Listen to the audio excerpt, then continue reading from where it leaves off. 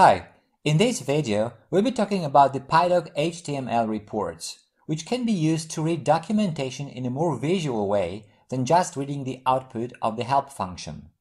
By the way, if you want to watch a video on the help function, I have one, so go for it. Back to the PyDoc HTML reports. The reports can be read in a web browser. To start off, you have to start a local server. You can do it in the console or command line using the following command pydoc-b. This starts the local server and opens the web browser where you can view the documentation. So let's launch the report. Open the console and type the following python m pydoc-b the dash "m" command line argument is there to locate the PyDocs module on your module import search path. Now, as soon as you press enter, the server is started and the documentation page is opened in the browser.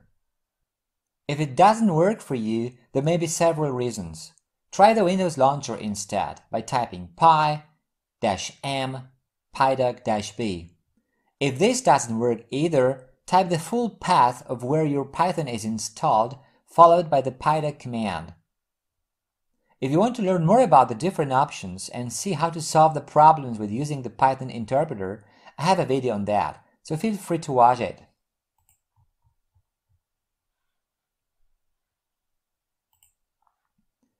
Now, if all works fine, you should see the web page with the documentation.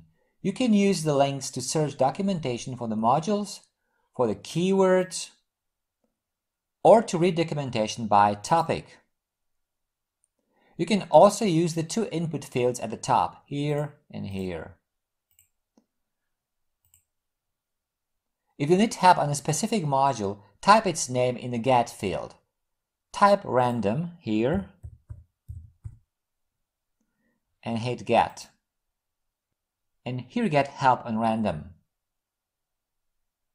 If you want to search for related topics, use the search field. For example, type Tkinter and hit search.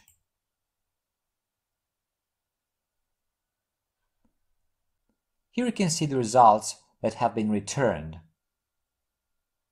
When done with the reports, you can close the browser and just hit Q to quit. Server stopped.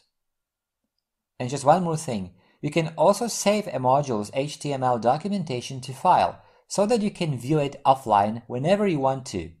For example, to save the documentation for the random module, use the following syntax in your console.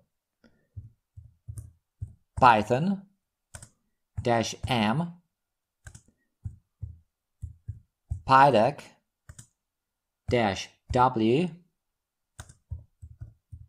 random wrote random.html.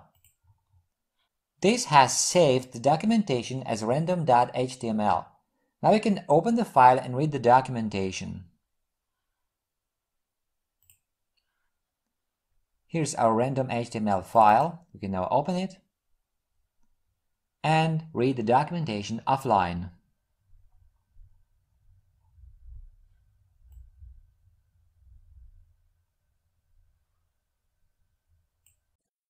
Okay, that's it for this video. If you like it, a thumbs up would be great.